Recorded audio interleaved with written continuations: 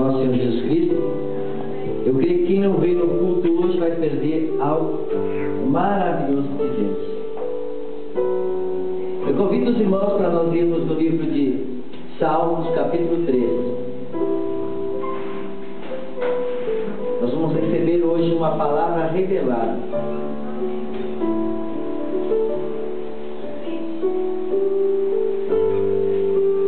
Encontraram nas suas Bíblias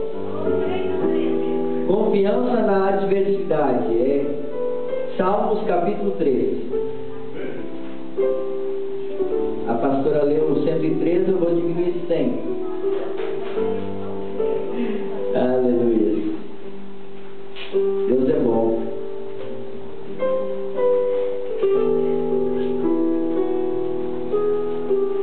Lemos então para a glória do Pai, do Filho e do Espírito Santo.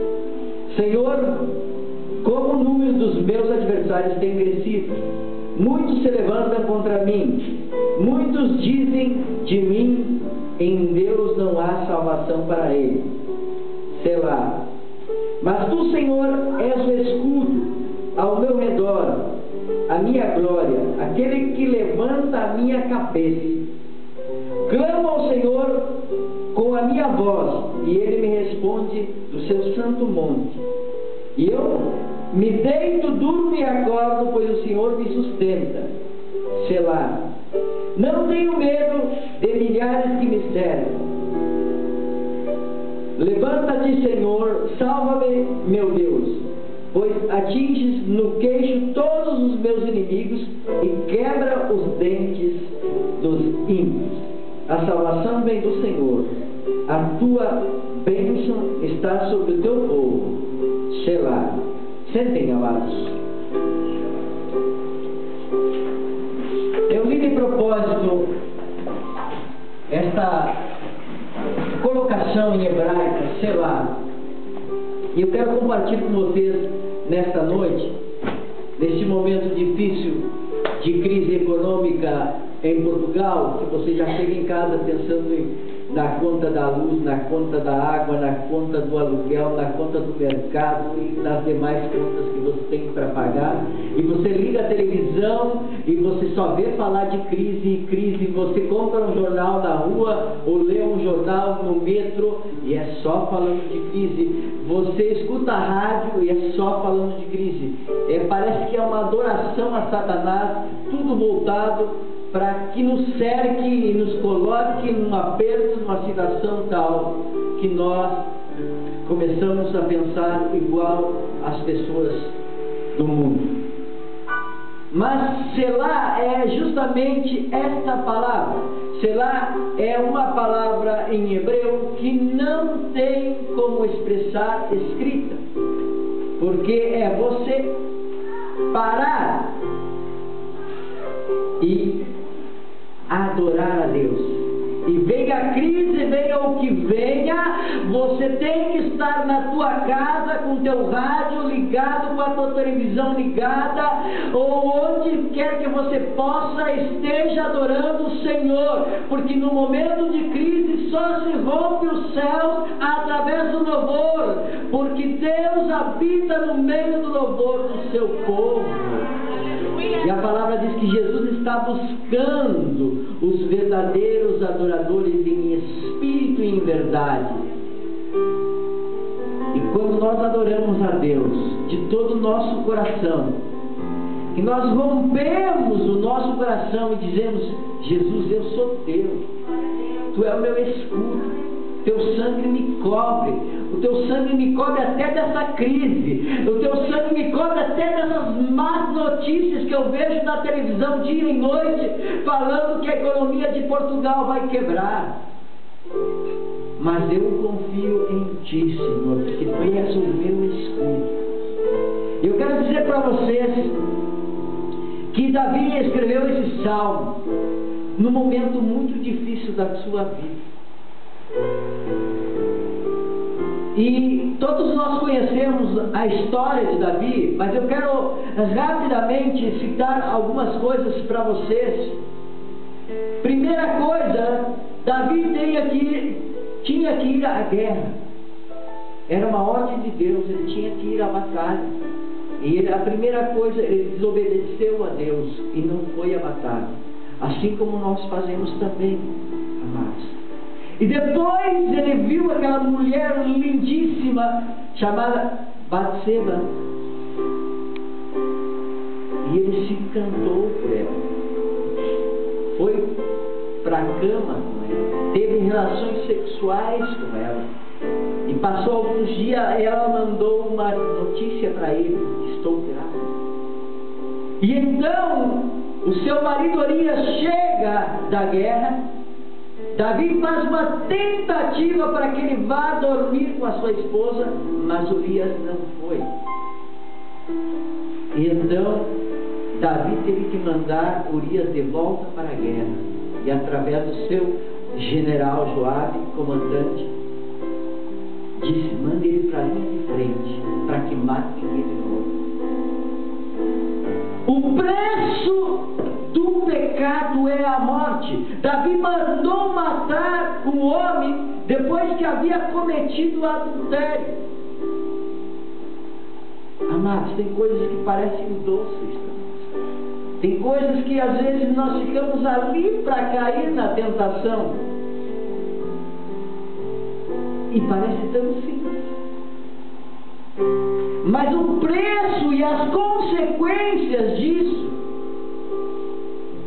que vão nos trazer um montão de problemas que nós não imaginamos. E Davi teve as consequências de tudo isso. Primeiro que o, o primeiro filho que ele teve com Batseba morreu. Segundo, passado alguns anos, o seu filho, Amnon, tem relações sexuais com a irmã Tamar. E depois o, o outro irmão Absalão descobre e passado um tempo mata Amnon. Passando alguns anos, Absalão volta-se contra Davi, comanda um exército em direção a matar Davi. Chega o um momento que ele diz assim: Este reino é meu, e manda seu pai embora. E Davi vai, e eu quero ler para vocês algo que eu chorei hoje à tarde quando eu lia, e eu mandei inclusive para todos os pastores. Esta palavra tão linda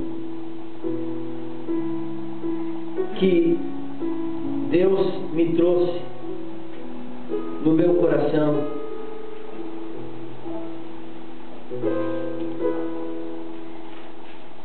Tinha deixado separado aqui, mas já vou encontrar. E então, Davi começou a pagar as consequências dos seus pecados. Eu não notei o número do versículo porque eu estava com ele marcado. Mas já encontro aqui. Mas foi algo muito forte que Deus falou comigo.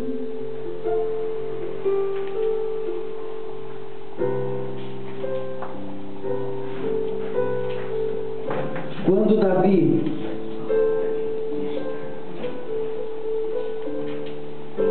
Ah, está aqui, já encontrei.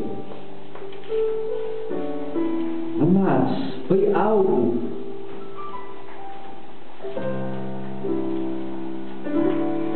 incrível. Absalão se levanta contra Davi e expulsa ele. E Davi se vai com um pequeno, um pequeno grupo de pessoas e diz assim, no livro de Samuel, capítulo 15, versículo 30.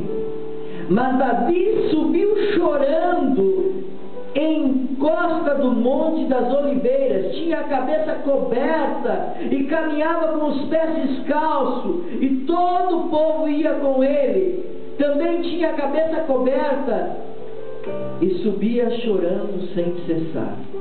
Amados, aqui não era um qualquer, era o rei de Israel, o homem escolhido por Deus para governar Israel, foi tirado do seu trono pelo pecado que cometeu de adultério e teve as consequências do seu pecado.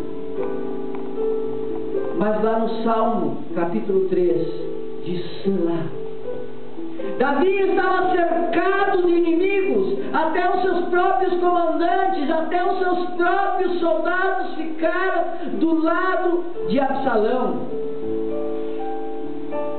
Porque Absalão, ele passou anos sendo cortês, educado com o povo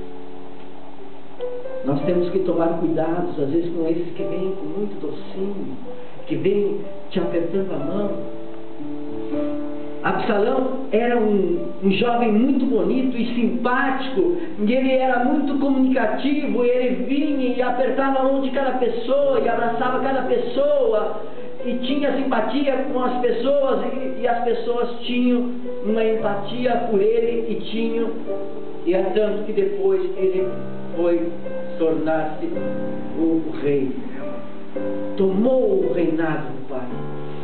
E Davi, nesse salmo número 13, ele, ele, estava cercado de inimigos, até as pessoas que ele mais amava, as pessoas que ele mais confiava, e o amor grandioso que ele tinha por Absalão, que era um dos seus filhos preferidos. Tudo estava contra ele naquele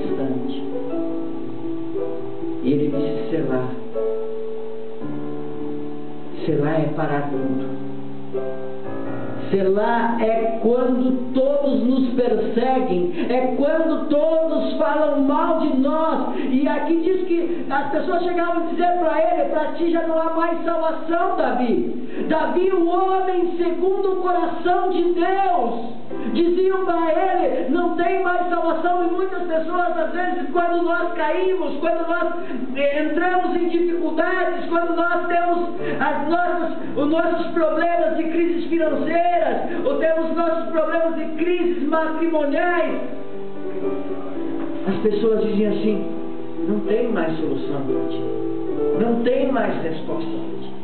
Não, aqui em Portugal já não serve mais para ti, volte para o Brasil. As pessoas querem voltar ao Egito, estão aqui na terra prometida que é Canaã e querem voltar lá comer piquio, querem voltar lá.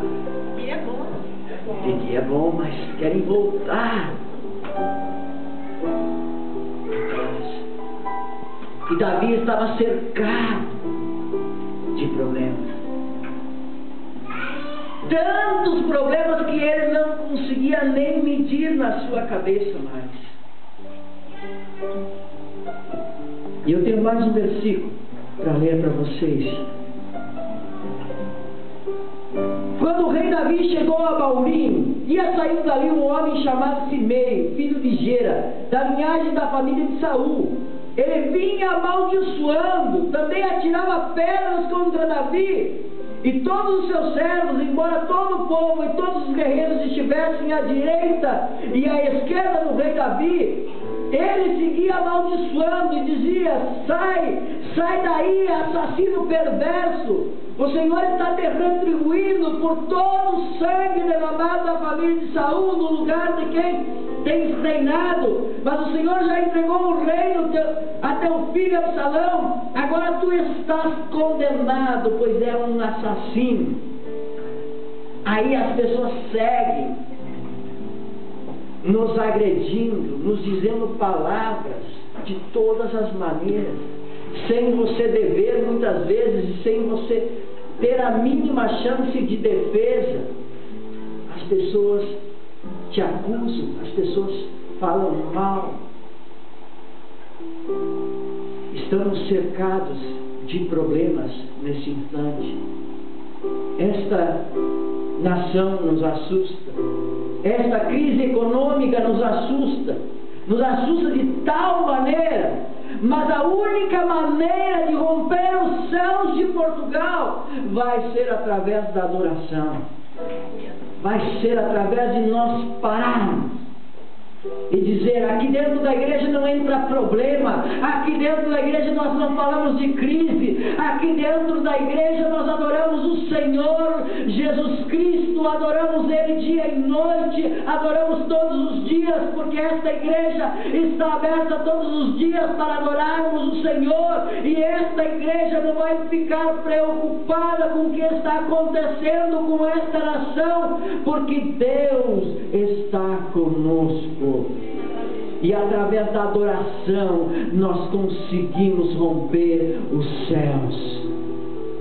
E conseguimos, inclusive, derrotar aqueles que se voltam contra nós. Será é isso. Será é nós pararmos. Nós pararmos.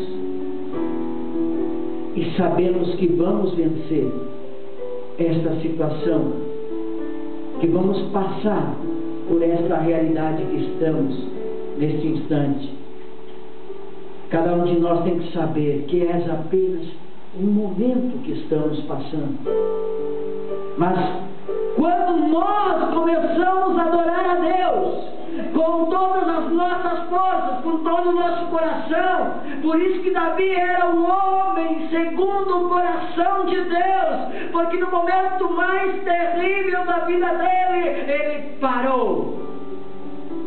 Espera aí. Eu sei que existem todos esses problemas. Eu sei que eu falhei. Eu sei que eu pequei contra o meu Deus todo